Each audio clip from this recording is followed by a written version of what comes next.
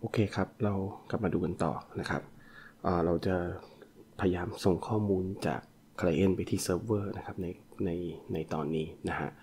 โดยสุดท้ายเดี๋ยวเราจะทำเป็นฟอร์มนะครับ เรามาทำความเข้าใจเกี่ยวกับการส่งข้อมูลกันอีกนิดนึงนะครับ ปกติเราเริ่มจาก web browser ตรงนี้นะฮะ แล้วเวลาเราทำงานใน web application นะครับ สิ่งที่เราทำก็คือเราก็จะกดส่ง request นะครับ ไปหาเซิร์ฟเวอร์นะครับ ที่ผ่านมาเนี่ยใน request ของเราเนี่ยเราแอบระบุข้อมูลไปได้บางส่วนผ่านทาง URL นะครับตัว URL เนี่ยก็จะถูกถ้าไปดูใน code Python ซึ่งเดี๋ยวเราจะกลับไปดูนะฮะจะถูกเลือกว่าจะส่งไปให้กับฟังก์ชันไหนนะครับผ่านทาง URL นะครับแล้วก็ใน URL เนี่ยบางทีก็จะมีข้อมูลบางส่วน เช่น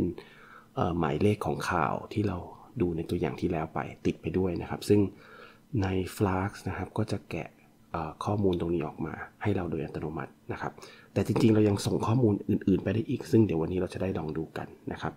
เมื่อ web browser เนี่ย web server เนี่ยได้รับ URL แล้วก็ data แล้วเนี่ยก็จะส่งข้อมูลกลับนะครับเป็นเป็น web page นะครับอยู่ในรูปของ HTML กลับไปนะครับลักษณะการเขียนแบบนี้เป็น web application แบบเรียกว่ายุคคลาสสิกแล้วกันแบบโบราณนะครับถ้าเป็นเว็บสมัยใหม่เนี่ยนะครับ ตัว client เนี่ยก็จะส่งข้อมูลมาถามที่ web server ผลลัพธ์ก็จะถูกส่งกลับไปเป็นข้อมูลเสร็จแล้วทางฝั่ง client ก็จะมีโค้ดที่เป็น JavaScript run อยู่ แต่ว่าเนื่องจากอันนี้เราเพิ่งหัดเขียนเราก็จะเขียนเป็นแบบ web application แบบคลาสสิกกันไปก่อนนะครับ แบบโบราณไปก่อน ซึ่งก็ง่ายดีนะครับ โอเคนะฮะในส่วนที่ส่ง HTML กลับไปเราใช้ template ซึ่งในตอนที่ 2 เราดู การทำงานในส่วน template ไปพอสมควรเลยทีเดียวนะครับมันในตอนนี้เราจะดูในส่วนนี้เป็นหลักนะครับ เรื่อง request แล้วก็ data นะครับโอเค ทีนี้ request แล้ว data จะส่งมันมันส่งมายังไงได้บ้างนะฮะในส่วนของการส่ง request กลับมาเนี่ยมันมี 2 แบบนะก็คือการส่งแบบ get กับ post ซึ่งเดี๋ยวผมจะให้ดูตัวอย่างนะฮะการเรียกใช้หน้าเพจทั่วไปเนี่ยจะเป็นการส่งข้อมูลแบบแบบ get นะครับก็คือข้อมูลทั้งหมดจะอยู่ใน URL นะครับ เดี๋ยวเราลองดูตัวอย่างกันนิดนึงแล้วกันนะครับ เราลองมาดูกลับมาดูหน้าเว็บเรานะครับผมก็มาเปิด terminal นะครับโอเค terminal หลักเราอยู่ตรงนี้นะฮะผมก็ run web browser ทิ้งไว้แล้วนะครับ ก็คือเราก็ใน Flask เราก็มีเซิร์ฟเวอร์ run อยู่นะครับ โอเค อันนี้ก็หน้าเดิมของเรานะครับ เดี๋ยวเราจะ ทำให้เราป้อนข่าวเข้าไปได้นะครับ เพราะนั้นเราก็จะ edit ใส่ฟอร์มเข้าไปใน HTML ของเราสักหน่อยนะครับใน index ตัวนี้ จริงๆเราควรจะอาจจะทำเป็น HTML อีกตัวหนึ่งแยกไว้นะครับ แต่ว่าเพื่อความสะดวกของเราวันนี้เราก็ใส่ไว้ในนี้ก่อนแล้วกันนะครับกล่องนะครับที่ให้ป้อนข้อมูลเนี่ยจะเป็นกล่อง Input นะครับ ถ้าเรามีกล่อง Input กับ text area นะครับลองเซฟดูนิดนึงนะครับว่าหน้าแล้วลองดูนะฮะว่าหน้าตาจะเป็นยังไง กล่อง input จะหน้าตาแบบนี้พิมพ์ยาวๆได้ text area ก็จะเป็นเอ่อไว้พิมพ์ข้อความประมาณนี้นะครับ text area เนี่ยเราไม่ควรจะใส่ของไว้ข้างในเลยนะครับ ไม่งั้นมันจะมีมันจะมาโผล่ใน text นะครับโอเค ของทั้งหมดเนี่ยจะถูกเอ่อเอาไปส่งไปให้เวลาเรา สร้าง Request อันถัดไปนะครับก็คือจะมาอยู่ในส่วนที่เป็น Data ตรงนี้นะครับวิธีการส่งตรงนี้เราก็จะเอาทั้งหมดเนี่ยใส่ไว้ในแท็ก Form นะครับแล้วก็ปิดเปิดเปิดแท็ก Form ปิดแท็ก Form ไว้นะครับโอเคแล้วก็ Input อยู่ตรงนี้นะครับ Text Array อยู่นี้นะครับ Input แล้วก็ขึ้นบรรทัดใหม่นิดนึงแล้วกันนะครับโอเคจะเห็นแบบนี้นะฮะ Input เราก็ใส่ชื่อเป็นอ่า Title text array ก็เป็น body แล้วกันนะครับ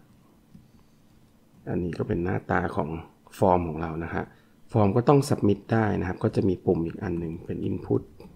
type เท่ากับ submit ถ้ามี input อย่างนี้นะครับเเราก็จะมีปุ่มขึ้นมาเป็นแบบนี้นะครับ ขึ้นมาถัดใหม่ให้เรานิดนึงแล้วกันนะครับ value เท่ากับ save นี่แล้วกันนะครับ value value เท่ากับ save อะโอเคนะครับ พอกดอย่างนี้ปั๊บนะฮะ ถ้าเราไม่ทำอะไรเลยนะฮะ มันจะถูกเกิดอะไรขึ้น เรากดอย่างเงี้นะครับ มันจะเรียกกลับไปที่หน้า กลับไปที่หน้าเดิมนะครับ เพราะเราไม่ได้ใส่ URL อะไรให้กับมันในฟอร์มนะครับ วิธีการระบุ URL ในฟอร์มเนี่ยเราก็จะสั่งว่า action ตรงนี้นะครับ แล้วเราจะระบุ URL ลงไปได้นะครับ เดี๋ยวเราจะลองดูข้อมูลที่ถูกส่งให้กับตัว web server ของเรานะครับ web application ของเรานะครับ เพราะนั้นเดี๋ยวผมจะเขียนสร้าง path URL อีกอันหนึ่งนะครับชื่อว่า news ทับ create นะครับ อย่างนี้เลยนะฮะ create new item แบบนี้นะครับโอเค อันนี้จะเป็น URL ที่เราใช้รับ request ในในที่เราจะส่งข้อมูลมาให้นะฮะโอเค วิธีการอ้างถึง URL ตัวนี้ในเทมเพลตก็ถ้าจำได้นะครับ เราสามารถเขียนตรงๆก็ได้ หรือว่าเราจะใช้ URL for นะครับ อันนี้ก็ได้นะครับ ถ้าเรา request ปุ๊บ อันนี้ก็จะไม่เห็นอะไร แต่เรากด save นะครับ มันจะไปเรียก news create เห็นไหมฮะ news create ตรงนี้ ตามที่เราระบุไว้ ซึ่งมันก็จะบึ้มนะครับ เพราะว่ามันจะ error มา เพราะว่าในเมนเราฟังก์ชัน news create เรายังไม่ทำอะไรเลยนะครับ โอเค ทีนี้เราจะส่งข้อมูลมาที่ในตัวเมธอดฟังก์ชันตัวนี้ใน Python ได้ยังไงนะครับ เราต้องไประบุอีกนิดนึงครับ ใน Input ตรงนี้นะครับ ถ้าเราเขียนเงี้ยข้อมูลมันจะผมไม่แน่ใจมันส่งไปหรือเปล่าแต่ว่า เราต้องระบุชื่อให้กับมันครับ ผมก็จะใส่เป็นชื่อไตเติลแล้วกันนะครับ แล้วก็ name เท่ากับ body ถ้าเราเขียนแบบนี้นะฮะข้อมูลที่เราเขียนนะครับ ลงไปตรงนี้นะครับ new post บลาบลาจะถูกส่งไปให้กับหน้าจอตรงนั้น ซึ่งถ้าเราไม่เขียนอะไรนะครับ กดไปแบบนี้ ซึ่งถ้าเราดู URL นะครับข้างบนมันจะมาโผล่ตรงนี้เห็นไหมครับ title เท่ากับ new post body เท่ากับบลาบลาซึ่งถ้าเราพิมพ์อะไรที่มันซับซ้อนนะครับ ขึ้นมันทัดใหม่อะไรเงี้ยภาษาไทยก็ได้ สวัสดีครับ กดเซฟไปปุ๊บ ทั้งหมดจะถูกส่งไปอยู่ในใน URL bar หมดเลยนะครับ มันก็จะเป็นเนี่ยนะครับ encode เป็นภาษาไทยอะไรก็ว่าไปอยู่ตรงนี้ การสั่งแบบนี้นะครับ จะเป็นการส่งแบบ get นะครับ คไหมฮะถ้าเราไม่เขียนอะไรทุกอย่างเป็น get get เนี่ยคือข้อมูลทั้งหมดจะถูกอยู่ในบรรจุอยู่ใน URL ซึ่งก็จะอยู่ในของแบบนี้นะฮะซึ่งใน Flask ก็สามารถเอาของออกมาได้นะครับวิธีการเอาของออกมา ผมก็จะพิมพ์สั่งอันนี้ครับ print โอเคของทั้งหมดที่ถูกส่งมาใน Flask นะครับ จะถูกเก็บอยู่ใน Data ที่ชื่อว่า request นะครับ ผมก็จะต้อง from Flask import request นะครับ ผมเอา Data ไว้ข้างล่างแล้วกันนะครับ โอเค มันจะมีตัวตัวที่ชื่อว่า request แล้วเราก็สามารถสั่ง request จุด args นะครับ request จุด args เนี่ยจะเอาข้อมูลที่อยู่ใน get request ทั้งหมดส่งมาให้เรานะครับ ลองดูใหม่นะฮะ ผมสั่งเซฟปึ้ง ไปตรงนี้ error เหมือนเดิม แต่ถ้าเกิดเรากลับไปดูที่ตัว terminal แล้วนะครับ เปิดยังไง นะครับออพอเราเรียก request เมื่อกี้นะฮะ มันจะถูกส่งมาที่เเวลา error มันจะยาวๆนิดนึง แต่ว่าโค้ดที่เราพิมพ์เนี่ยนะครับ มันจะอยู่ตรงนี้เนี่ยนะครับ get get มาตรงนี้นะฮะ เสร็จแล้วขึ้น error นะครับนี่นะครับ ของที่เราส่งให้เมื่อกี้นะครับ จะอยู่ในก้อนนี้ครับ immutable multidict นะครับ ของที่เราส่งจะอยู่ตรงนี้นะฮะสังเกตว่าจะส่งมาเป็นดิกนะครับ ที่ไตเติลมี new post แล้วก็ body เป็นบลาบลาประมาณนี้นะฮะแต่ว่าการส่งของแบบนี้นะฮะด้วยมาที่ทาง get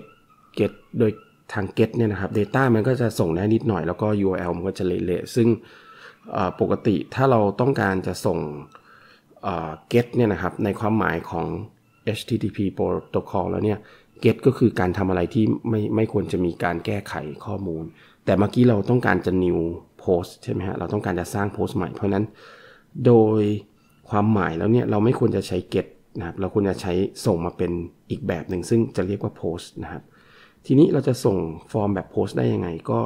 ตรงไปตรงมานี่ครับ เราก็สั่ง method เท่ากับ post เขียนไว้ตรงนี้นะฮะ ถ้าตรงนี้เป็น method เป็น post นะครับ เรากดเซฟตรงนี้ สังเกตว่า URL นะครับ ไม่มีอะไรข้างบนแล้วนะฮะ แต่ว่ามันก็จะบ่นนิดหนึ่งครับ method เนี่ยไม่ไม่ allow นะครับตรง code main.py เนี่ยนะครับ เวลาเราสั่ง app.route เนี่ย โดย default แล้วเนี่ยมันจะยอมให้เฉพาะกับ get นะครับ ถ้าเราต้องการให้โพสต์ได้ด้วยเราก็สั่งนะฮะ เราต้องระบุไปด้วยครับว่า method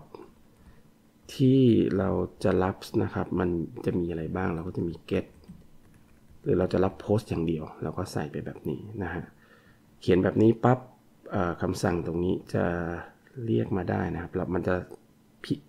ถามว่าจะรันอีกรอบไหมนะครับ ก็จะเป็นแบบนี้ ทีนี้ถ้าเรากลับมาดูที่โค้ดมันพิมพ์นะครับ ก็ error เหมือนเดิมนะครับ ไม่มีอะไร แต่ว่าเออ error มันจะดูยาวนะ ผมก็สั่ง return string ว่างกลับไปก่อนแล้วกันเพื่ออะจะว่างๆแบบนี้แต่ว่าข้างล่างมันจะพิมพ์ ตัว args เนี่ยจะไม่เห็นอะไรนะครับ แต่ถ้าเกิดเราสั่งเป็นฟอร์มไปนะฮะ เราจะเห็นว่าในฟอร์มเราเนี่ยจะมี title แล้วก็ body ติดมาด้วยนะครับ ก็คือเวลาเราสั่ง post request เนี่ยนะครับ ข้อมูลมันจะถูกส่งมาแต่ไม่ได้อยู่ในไม่ได้อยู่ในใน URL นะครับ และการจะเอาข้อมูลนั้นเอามาจาก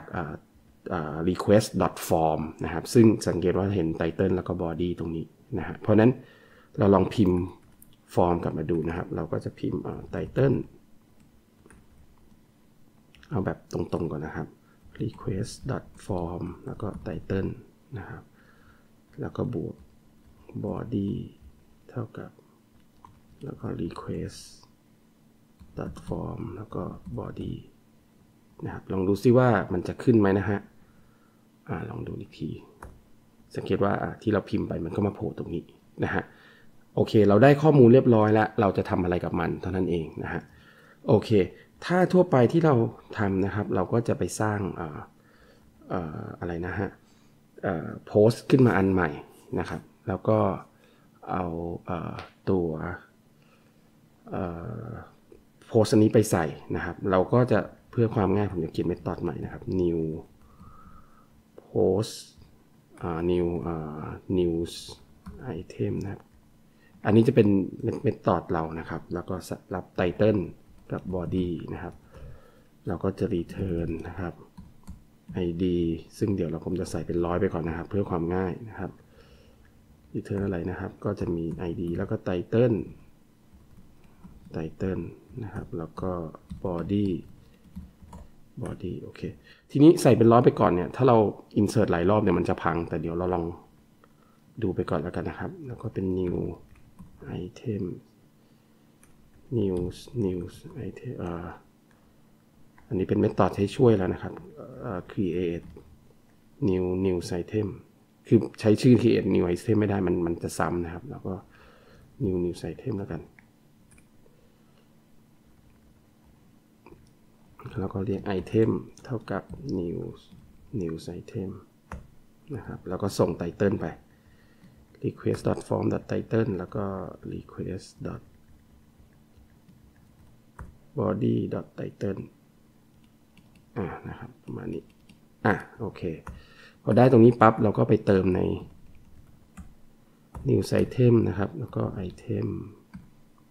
id ของเรานะครับ ท่ากับ item อะถ้าทำแค่นี้นะครับ แล้วก็ return ว่างๆไปก่อนนะครับ ดูซิว่าได้ไหมนะฮะ ผมรันตรงนี้ตุ้มได้หน้าเปล่าๆกลับมาอ๋อ news items อะโอเค คือเราจะกลับไปเซฟใน array ตัวนี้นะครับ array ของเราตัวนี้นะครับลองรีโหลดดูปุ๊บ ดูไม่เห็นอะไรนะครับ แต่ลองเปิดอีกแท็บหนึ่งนะครับ เป็นเปล่าๆ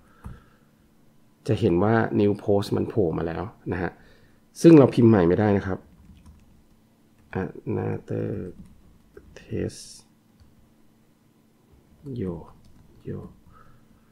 เซฟเข้าไปนะครับ หายกลับมาปุ๊บ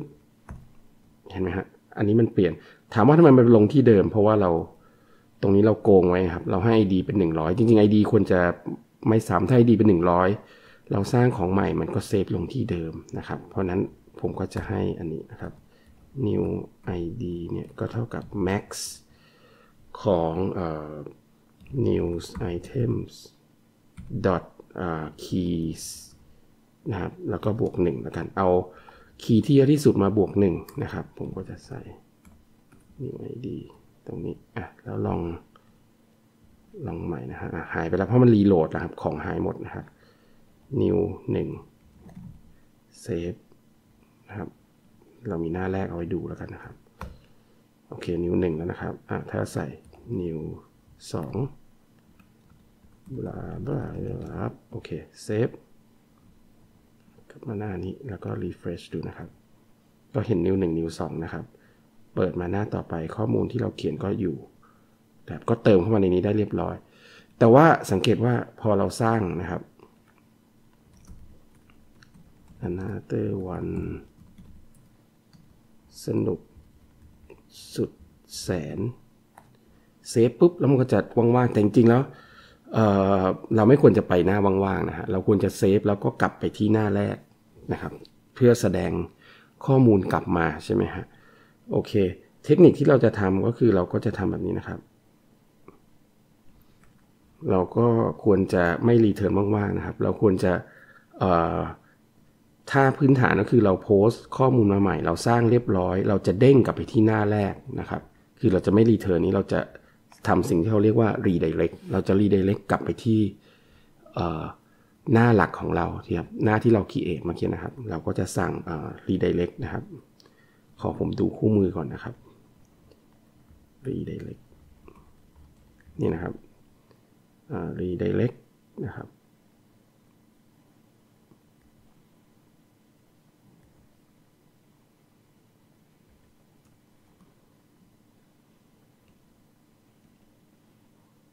อ่านะครับมีคำสั่ง redirect อยู่ตรงนี้นะครับเราก็ import render template แล้วก็ redirect อ่าโอเคเราก็ return redirect เราก็ต้องใส่ URL ไปเราก็สั่ง URL for นะครับ แล้วก็ index ใส่เข้าไปนี้ เราต้อง import ฟังก์ชัน URL for ด้วยนะฮะ เมื่อกี้เราใช้ในเทมเพลตนะครับ ไม่ต้องทำอะไร เพราะว่ามัน import ให้เราอัตโนมัติ แต่ถ้าอย่างนี้ก็ต้องทำนิดนึงนะครับอะกลับไปที่หน้าแรก refresh นะครับ ของหายหมดนะครับเซฟปุ๊บโผล่มาแล้วนะครับ โอเค สวัสดีจ้า จ้าจ้าจ้านะครับโอเค กดปุ่มนี้ก็ไปดูข่าวได้นะครับ ย้อนกลับมาก็ยังอยู่ โอเคนะฮะเอ่อ เเราอยากจะกดหน้านี้แล้วไปหน้าใหม่ เราก็ทำได้นะครับ อันนี้แถมนิดนึงแล้วกันนะฮะอันนี้มันเหมือนแบบกดแล้วไม่ไปไม่ไม่ได้เปิดแท็บใหม่ ซึ่งถ้าไม่อยากเปิดแท็บใหม่จริง ๆ ก็ไม่ไม่มีอะไรนะครับ ก็ก็เป็นแบบนี้ก็ถอยไปถอยมาเอา ถ้าอยากเปิดแท็บใหม่เนี่ยในเทมเพลตนะครับ เราให้ใส่ตัวนี้เข้าไปครับใน ahref เนี่ยนะครับ เราให้ใส่เพิ่มเข้าไป target นะครับ แล้วก็ blank เขียนอันนี้นะครับ มันจะบอกว่าให้ไปโผล่ที่แท็บชื่ออะไรนะครับ ถ้ามีแท็บชื่อนั้นมันจะไปโผล่แต่ถ้าไม่ไม่ไม่ไม่มีมันก็จะไปเปิดหน้าใหม่นะครับ เพราะนั้นเราใส่ blank ก็คือมันก็จะไปเปิดหน้าใหม่เพราะเราไม่มีแท็บชื่อว่า blank นะครับเพราะนั้นกดปุ๊บก็ไปแท็บใหม่อย่างนี้เลยนะครับ แต่ถ้าไม่ชอบก็ไม่ต้องใส่ target blank เข้าไปตรงนี้ก็ได้นะครับ แล้วแต่นะครับ ถ้าเรากะว่ากดแล้วก็ทำเหมือนแอปธรรมดาก็ไปเพิ่มใหม่ก็ก็ไม่ต้องทำอะไรนะครับ โอเค นะครับ ก็ขอสรุปนะครับ ก็คือวิธีการส่งข้อมูลนะครับ กลับมาดูหน้านี้อีกทีหนึ่งนะฮะหลักการทำงานของเว็บแอปพลิเคชันก็คือเราจากเว็บเบราว์เซอร์ส่ง Request กลับมาที่เซิร์ฟเวอร์ซึ่งเซิร์ฟเวอร์ตัวนี้เราเขียนด้วย Python นะครับ เป็น เป็นอ่า Python ก็คือไอ้ main.py ของเราเนี่ยนะครับ เขียนด้วย Flux นะครับ โอเค การส่ง Request กลับมามี 2 แบบมี get กับ post นะครับ get ข้อมูลทั้งหมดอยู่ใน URL นะครับบางส่วนเราถูกแกะเราแกะอัตโนมัติมาแล้วนะครับ บางส่วนเราต้องเอาจาก request.args args นะครับ การส่งข้อมูลแบบ get หลักๆ ก็คือโดยความพื้นฐานแล้วมี requirement ว่าห้ามแก้ข้อมูลอะไรนะครับ แต่ถ้าเกิดเราจะแก้ข้อมูลก็ให้ใช้อีกแบบก็คือ post นะครับ post ก็คือแบบมีการอัปเดต new ของอะไรค่าค่าอะไรประมาณนี้ ถ้าส่งแบบ post นะครับ ในฟอร์มของเราเนี่ยนะครับ ต้องหนึ่งคือไม่ว่าจะ get หรือ post นะครับ ฟอร์มต้องระบุ URL นะครับแล้วก็ระบุ method post เข้าไปนะครับ จะถูกส่งแบบ post นะครับ ข้อมูลที่อยู่ในฟอร์มนะครับ จะถูกส่งในอยู่ใน input ตัวนี้นะครับแต่ละก้อนของ input จะถูกระบุชื่อด้วย name นะครับ tag attribute name นะครับ ก็ input ก็จะเป็นกล่องเป็นเป็นช่อง text box ธรรมดา ถ้า ต้องการจะก้อนใหญ่ๆ ก็จะใช้ text area นะครับแล้วก็จะมีปุ่มนะครับ ปุ่มก็จะเป็น input type submit แบบนี้นะครับ ทั้งหมดจะครอบอยู่ในฟอร์มนะครับโอเค พอเราเป็นตอดโพสพอเรากดไปปั๊บนะครับ กดไปนะครับ new one one new กดไปปั๊บ ข้อมูลทั้งหมดจะถูกส่งมาที่เอ่อ main นะครับโค้ดเราตรงนี้ ซึ่ง map ไปเรียบร้อยแล้ว อย่าลืมว่า ตรงนี้ต้องระบุด้วยนะครับว่าเป็น method post นะครับ คือเราต้องต้องบอกว่าโอเค method ที่เรารับได้คืออะไร โดยทั่วไปมันจะเป็นเมธอด get นะครับ พอเราได้รับปุ๊บ เราสามารถแกะของจากฟอร์มได้โดยสั่ง request form request อย่าลืม import ตรงนี้นะฮะข้างบน มันจะเป็น object ที่ติดมากับ Flask เลยนะครับ เราก็จะแกะออกมา อย่างที่ผมทำเนี่ยผมก็จะแกะออกมาแล้วเราก็เอาไปแปะกับ items นะครับ สร้าง item ใหม่ขึ้นมา แล้วก็เอาไปใส่ใน ใน dict news item นะครับ ใส่เสร็จปั๊บปกติเราก็จะ return กลับไปที่หน้า Index นะครับ หน้า Index ก็จะเอารายการมาแสดงเอง สังเกตว่าเราไม่ต้องมาแสดงตรงนี้ เราสร้างแล้วก็ return กลับไปที่หน้า Index นะครับ เออเมื่อกี้ผมแก้ไปแล้ว เพราะนั้นก็มันก็จะหายไปนะครับ เราก็จะอันที่เราแอดก็จะหายไปนะครับ world มีนะครับประมาณนี้นะครับ กด world ก็มีมี อะโอเค ประมาณนี้นะฮะ เพราะนั้นเราก็ส่งข้อมูลนะครับ แกะข้อมูลแล้วก็ตอนนี้เรายังไม่มีดัตเตอร์เบสนะครับ เราเขียนไว้ใน เก็บไว้ในดิกแบบนี้เลยนะครับ ในการทำโปรโตไทป์เขียนแค่นี้จริง ๆ ก็พอไหวนะครับ ถ้าจะทำอย่างเป็นโค้ดเป็นทางการ เดี๋ยวเรามาเรียนเรื่องการใช้ database ด้วย MongoDB กันนะครับ เพราะนั้นภาพรวมของการเขียนเว็บพื้นฐานสุดๆก็คือ Input Output ก็ประมาณนี้นะครับ เดี๋ยวมันจะมีเรื่อง session เรื่องการล็อกอินอะไรต่ออีก ซึ่งเดี๋ยวเราจะค่อยๆ สอนต่อไปนะครับ กลับมาดูภาพนี้นะฮะเพราะนั้นถ้ามีอะไรให้นึกถึงภาพนี้ให้ออกนะครับ โอเค อันนี้เป็นเว็บแบบคลาสสิกครับ โอเค ตอนนี้ก็ไว้แค่นี้ครับ ขอบคุณครับ